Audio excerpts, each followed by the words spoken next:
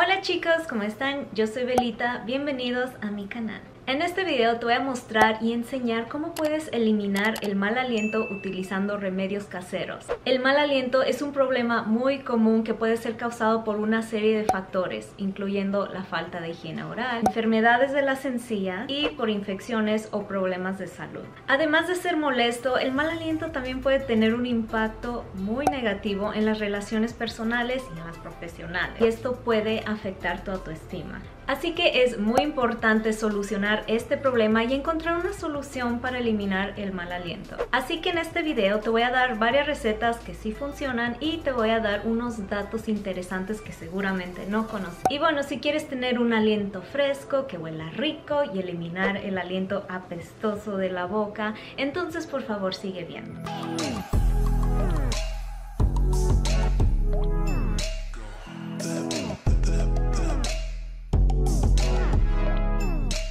Voy a dar 5 recetas caseras, no tienes que ser todas, solamente escoge una. La primera es usando un enjuague bucal de agua con sal. Mezcla 2 cucharadas de agua de sal en un vaso de agua tibia y haz gárgaras durante 30 segundos antes de escupir. El enjuague bucal del agua con sal ayuda a mantener las bacterias que causan el mal aliento en la boca y en la garganta. La sal tiene propiedades antibacterianas y antisépticas que te pueden ayudar a eliminar las bacterias que producen los olores desagradables. La número 2 es usar menta.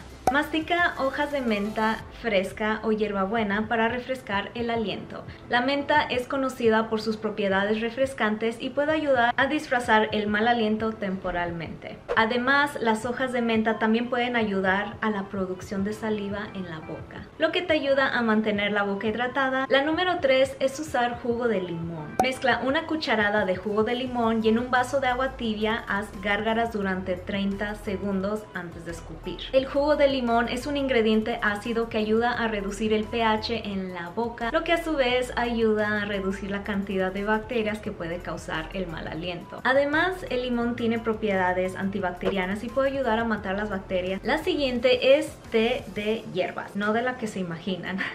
Bebe té de hierbas como el té de menta, de manzanilla o de jengibre. Esto es para ayudar a reducir el mal aliento. Por ejemplo, el té de menta y el té de jengibre te pueden ayudar a reducir la inflamación en la garganta y mejorar la digestión, mientras que el té de manzanilla puede tener un efecto calmante en el estómago y reducir la acidez. Y por último tenemos el bicarbonato de sodio. Mezcla una cucharada de bicarbonato de sodio en un vaso de agua y haz gárgaras durante 30 segundos antes de escupir. El bicarbonato de sodio es un ingrediente básico que puede neutralizar los ácidos en la boca. Además, el bicarbonato de sodio también puede ayudar a matar las bacterias que causan el mal aliento y limpiar los dientes y las encías. Recuerda también que es muy importante cepillarse bien los dientes dos veces al día, usar hilo dental y visitar regularmente a tu dentista para mantener una boca saludable y con aliento fresco. Ahora, ¿por qué las personas siguen teniendo mal aliento?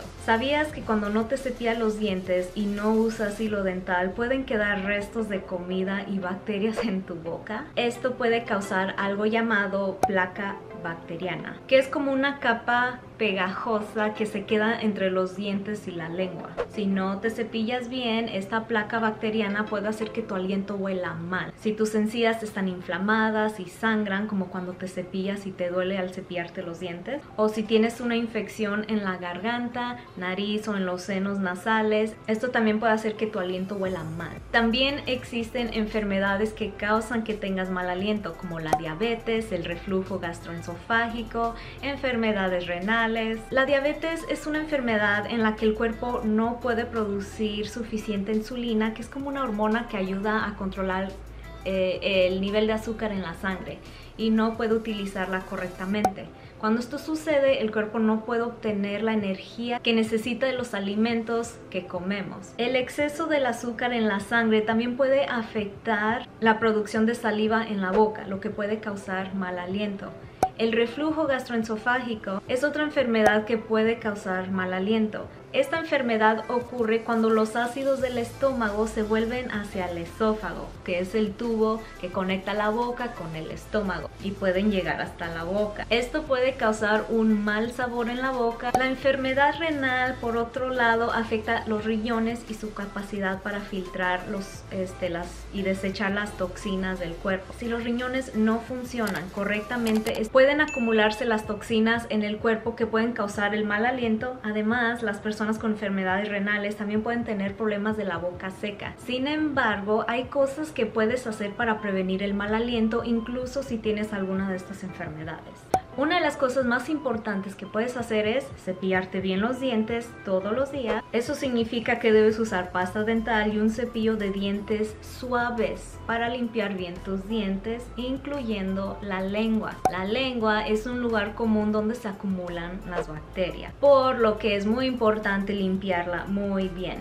Además de cepillarte, también es muy importante que uses hilo dental. Así puedes limpiar entre los dientes y quitar toda esa eh, comida y bacterias que se quedan ahí pegadas. Y bueno chicos, si llegaste hasta este punto del video, eso significa de que eres una persona muy, pero muy paciente y te felicito. Déjame saber si llegaste a este punto comentando las cucarachas voladoras así para confundir a la gente en los comentarios. No se les olvide ver estos otros videitos que tenemos por acá, déjame saber qué tipo de videos te gustaría ver en el futuro y bueno chicos, nos vemos hasta la próxima.